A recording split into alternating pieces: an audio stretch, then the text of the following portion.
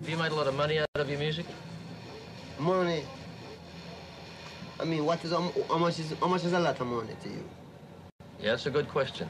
Have, have you made, say, millions of dollars? No. Are you a rich man? When you mean rich, what you mean? Do you have a lot of possessions? A lot of money in the bank? Position make you rich? I don't I don't have that type of richness. My richness is life forever.